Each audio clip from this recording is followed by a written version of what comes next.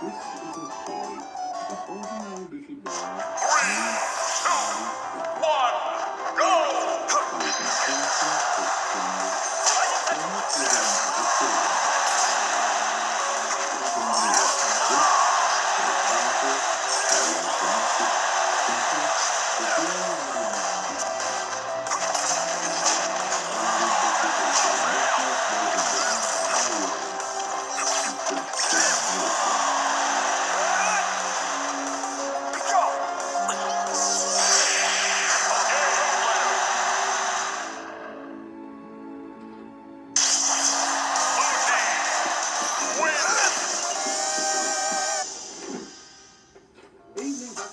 amazing.